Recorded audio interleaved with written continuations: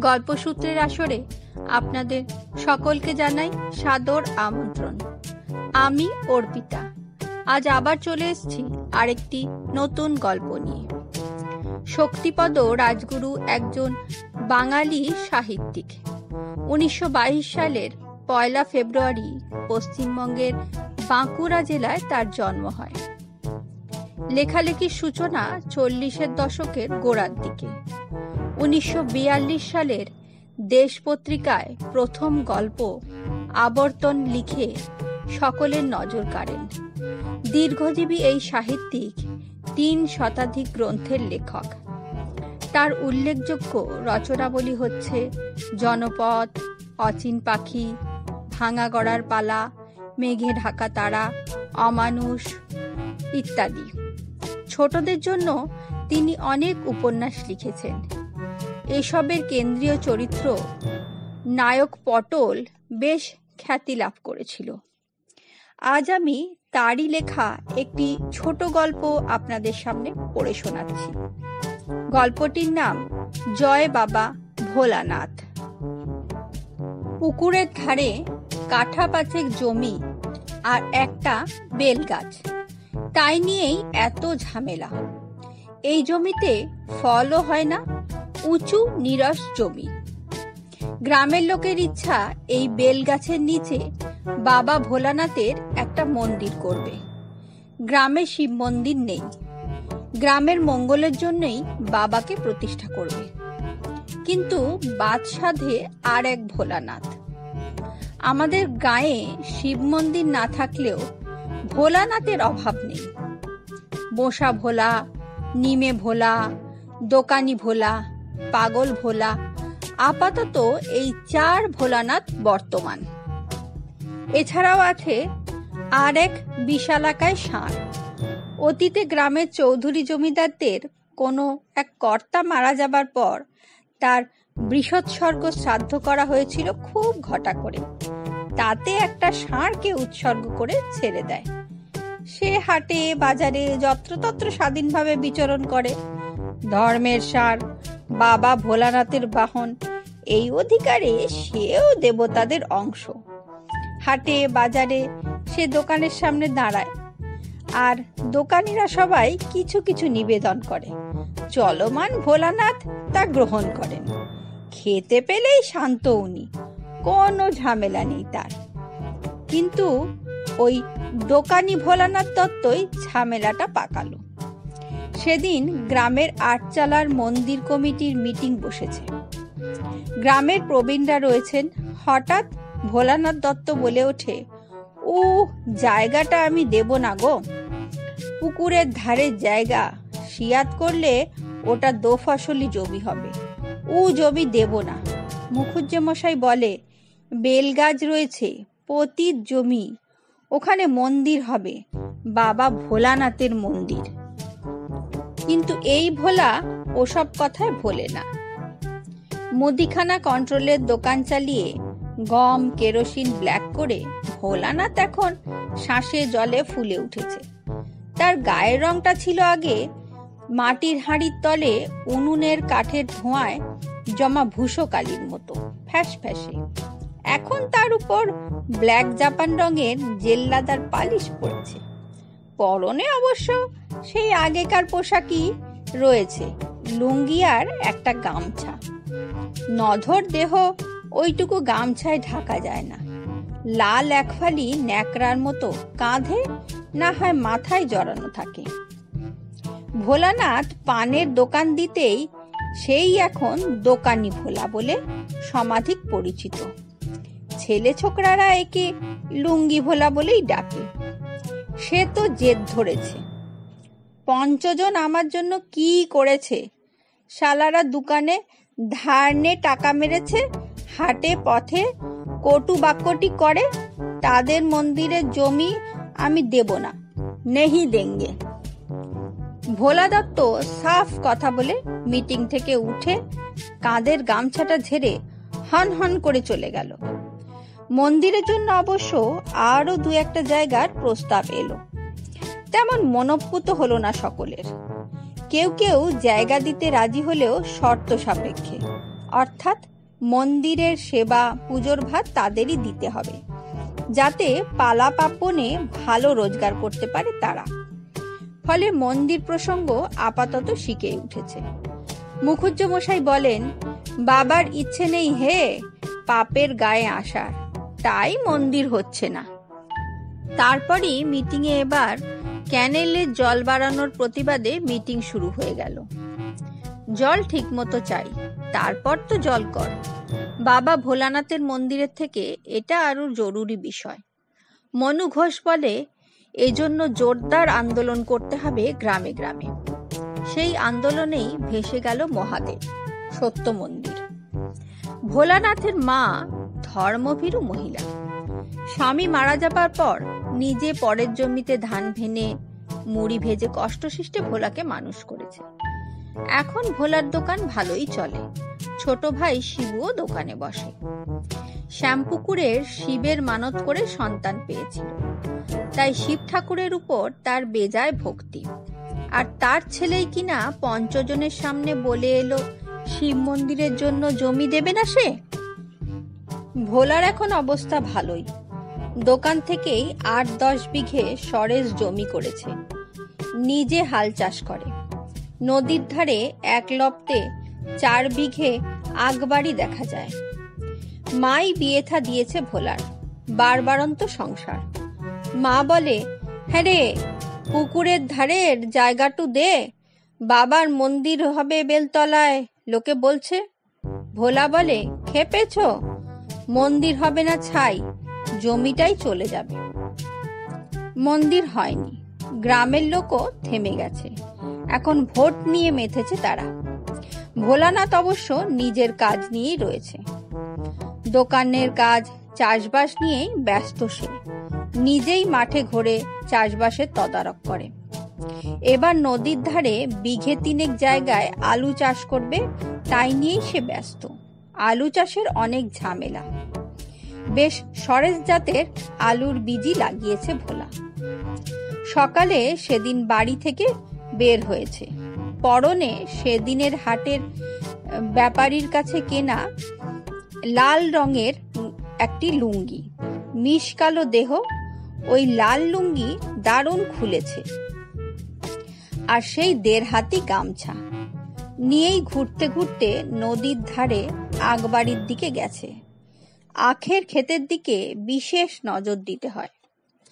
কারণ যাতায়াতের আলপথে মানুষজন পটাপট আঁক ভেঙে নিয়ে যায়।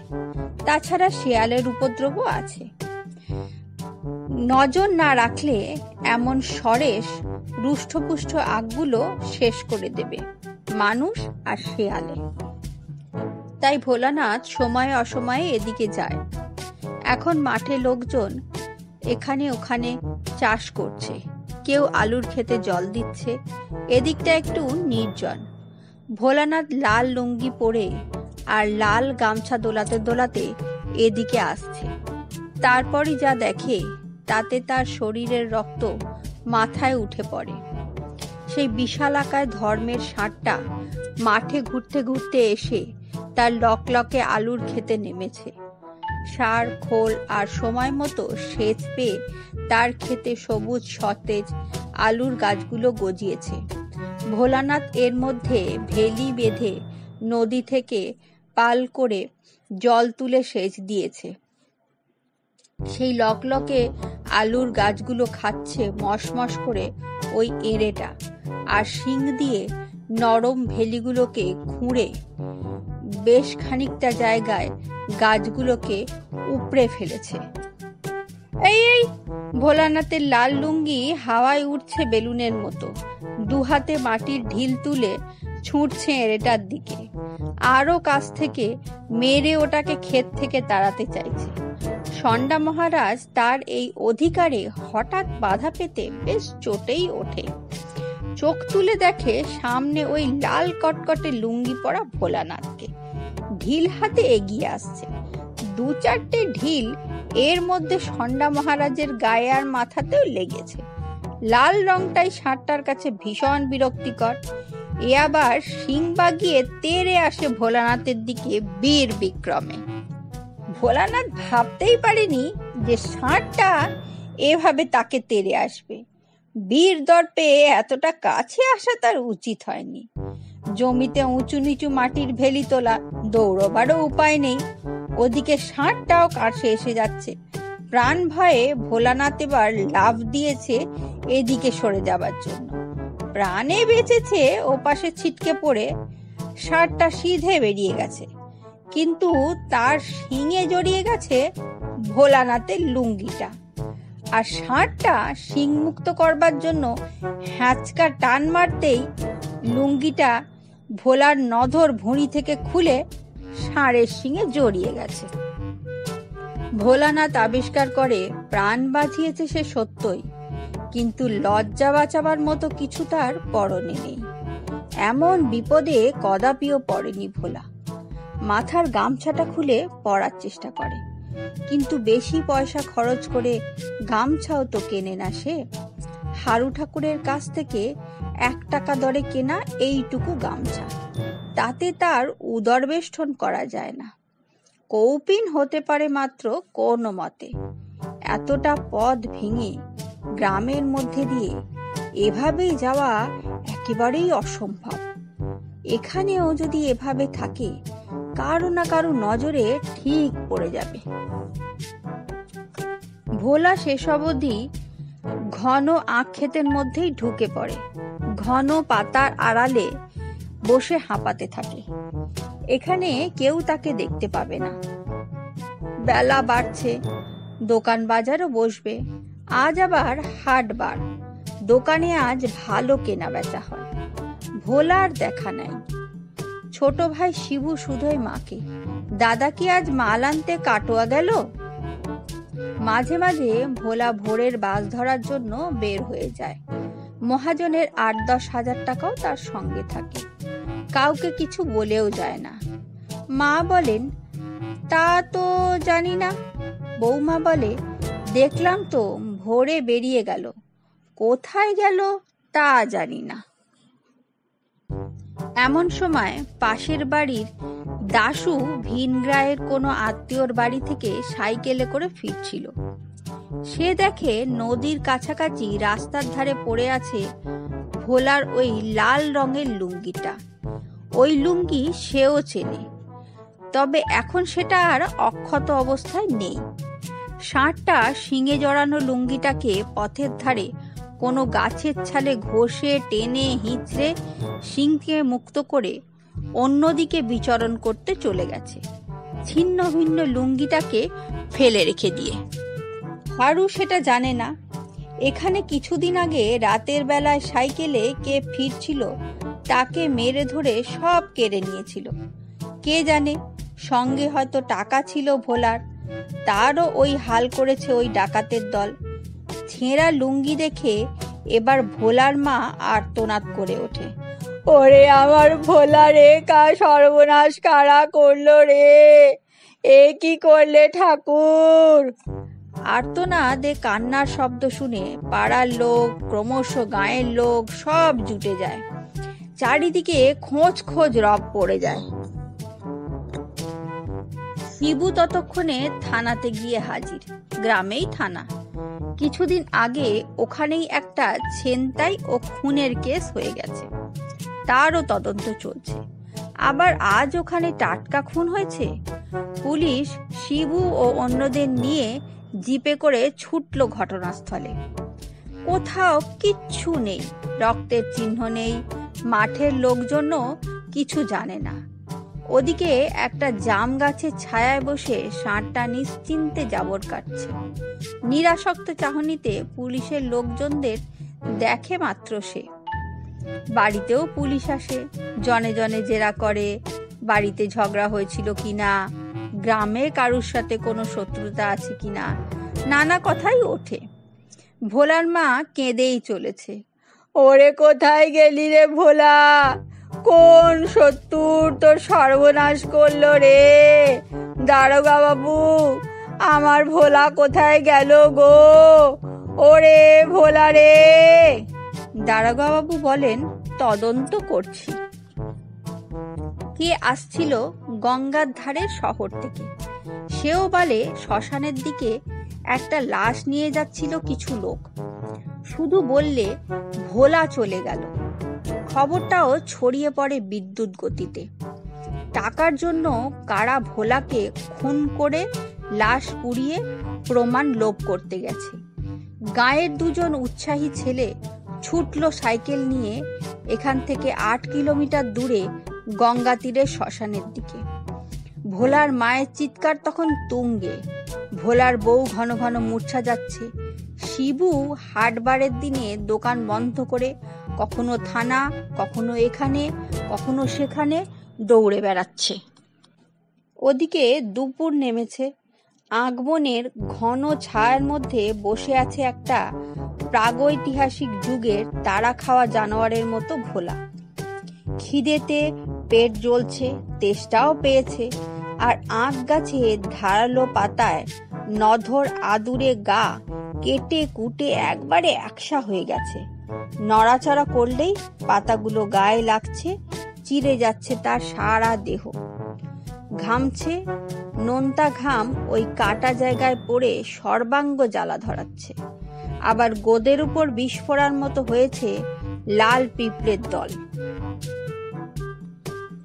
আখ খেতে সেই লাল পিঁপড়েগুলো এবার নতুন শিকার পেয়ে তাকে বেশ গুছিয়ে অ্যাটাক করেছে। ছটফট করছে ভোলা। খিদে, তেষ্টায় পাতা কাটার গায়ের জ্বলুনিতে আর পিঁপড়ের কামড়ে। কিন্তু বের হবার উপায় নেই। দেখে মাঠের এদিকে ওদিকে লোকজন কাজ করছে। ওদিকে রাখাল ছেলেগুলো নদীর ধারের গাছের ছায়ায় গরুগুলোকে ছেড়ে দিয়ে নিজেরা খেলা করছে। বের হলেই কেলেঙ্কারিরা আর কিচ্ছু বাকি থাকবে না। ক্ষেতের গভীরে পড়ে পড়ে ছটফট করে ভোলা। এমন বিপদে সে কখনো পড়েনি। বেটা ষাঁড়টা এমন কাণ্ড বাঁধাবে তা সে স্বপ্নেও ভাবেনি। গ্রামে তখন হই হই কাণ্ড বেঁধেছে। গ্রামের তরুণ সংঘ সারা গ্রামের ছেলে, মেয়ে, বুড়ো বুড়িদের নিয়ে পুলিশি অব্যবস্থার বিরুদ্ধে থানা অবরোধ করেছে। ওদিকে কিছু লোক করেছে রাস্তা অবরোধ। তুমুল স্লোগান চলছে চতুর্দিকে। অরাজকতা চলতে দিচ্ছি না, দেব না। ভোলানাথের হত্যাকারী শাস্তি চাই শাস্তি চাই। হাটও ঠিকমতো বসেনি। এর মধ্যে উৎসাহী কিছু ছেলে হাট বন্ধ করেছে ভোলানাথের স্মৃতির প্রতি সম্মান জানাতে। তখনও সেই গঙ্গাপাটি ফেরেনি। তারা ফেরে সন্ধ্যার মুখে। লোকজন ভিড় করে। ওদের সঙ্গের কনস্টেবল বলেন, যাকে পোড়ানো হয়েছে সে ভোলানাথ নয়। সে কেষ্টপুরের ভোলা মুখুজ্জে বুড়ো মানুষ। কে ধমকে ওঠে? পুলিশের কথা ঠিক নয়। ভোলার হাত, হত্যাকারীকে ধরতেই হবে। ভোলা তখন আখের খেতে সর্বাঙ্গে পিঁপড়ের কামড়ে ফুলে গেছে। জ্বলছে সারা গা। ক্রমশ মাঠে সন্ধ্যা নামে। বিস্তীর্ণ আকাশের তারাগুলো জেগে ওঠে।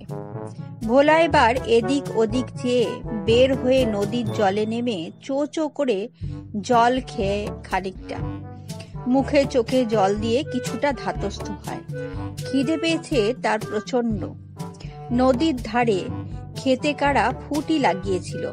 এখনও পাকেনি। ওই কাঁচা ফুটি কিছুটা খেয়ে শূন্য পেট ভরায় সে। দূরে গ্রামের সীমা দেখা যাচ্ছে। আলো জ্বলছেন দু চারটে। তার মানে রাত বেশি হয়নি। এখনও লোকজন জেগে আছে। এ সময় গ্রামে ঢোকা একেবারেই নিরাপদ নয়। নদীর ধারেই অন্ধকারে বসে থাকে ভোলা। আর রাত বাড়ার প্রতীক্ষা করে। গ্রামের লোকজন শুয়ে পড়লে তবে সে ঢুকবে। চুপি চুপি গিয়ে নিজের বাড়িতে। ভোলার কোনো খবরই নেই। শহরে মহাজনের ওখানেও যায়নি। সে খবরও এসেছে। দিন কেটে গেল, রাত নামলো, ভোলার কোনো খবরই নেই। মা বউ এবার বুঝেছে তাদের চরম সর্বনাশী হয়ে গেছে। কান্না আর থামে না। নিশুতি রাত, সারা গ্রামে একটা শোক আতঙ্কের ছায়া নেমেছে। জলজান্ত মানুষটাকে তাদের গ্রামের আশেপাশেই কারা খুন করেছে। খুনির দল আবার কাকে শেষ করে, কে জানে? গ্রামের মানুষজন এবার ভাবনায় পড়েছে। তবুও রাতের ক্লান্তি নামে চারিদিকে নিস্তব্ধতা নেমে আসে। ভোলার মা বউ তখন দাওয়ায় আচ্ছন্নের মতো বসে আছে। হঠাৎ অন্ধকারে ছায়ামূর্তি দেখে ভোলার বউ চিৎকার করে ওঠে। ভূত ভূত। কে যেন নড়ছে উঠোনে ঝোপের কাছে। ভোলার মাও চিৎকার করে ওঠে, ভূত ভূত ওরে বাবা রে। পড়শিরা জেগে ওঠে কে বলে ভূত নয়, সেই খুনের দল। এবার বাড়ি লুট করতে এসেছে। চোর চোর চোর, ডাকাত ডাকাত ডাকাত, চোর চোর চোর, ডাকাত ডাকাত ডাকাত। সারা পাড়ার মানুষ জেগে ওঠে। লাঠি, কাঠারি, বাঁশ, যে যা পেয়েছে হাতে নিয়ে এবার তাড়া করে। মার মার মার বেটাকে, মার মার মার বেটাকে। ভোলা বলে, আমি গো, আমি। উঠে আয়, হুকুম হয়। কিন্তু ভোলার সেই সামান্যতম কোটি বস্ত্র তখন জৌর ঝাঁপে কোথায় খুলে পড়েছে। ভোলা বলে, একখানা গামছা টামছা দাও না সিধু খুঁড়ো। ভোলার মা আর শিবুও এসে পড়েছে। শেষ অবধি গামছা পরায় অবস্থায় ভোলা ডোবা থেকে উঠে আসে। মাথার উপর কচুরিপানার ঝাড় যেন রাজমুকুটের মতো শোভা পাচ্ছে। ওখানে গেলি কি করে রে?